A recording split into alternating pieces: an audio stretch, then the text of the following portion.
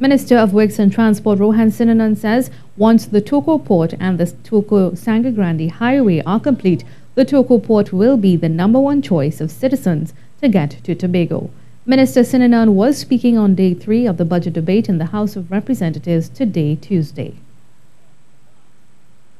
Being used to Tobago is 157 kilometers or four hours away.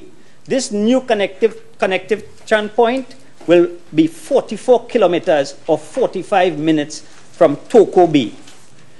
The new route to Sangre Grande will be 45 minutes and it uh, will be one hour from Port of Spain and 45 minutes to Tobago. Madam Speaker.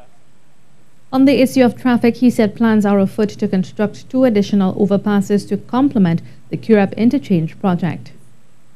Contracts have also been uh, awarded for preliminary designs for two additional overpass. The proposed location are Piarco and Macoya. One of these is expected to commence in 2020.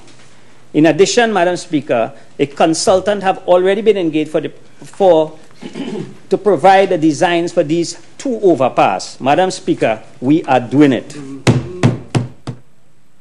As it pertains to flooding, the minister says the ministry is seeking technical assistance from CAF Development Bank of Latin America to deal with the ongoing flooding in rural and urban areas.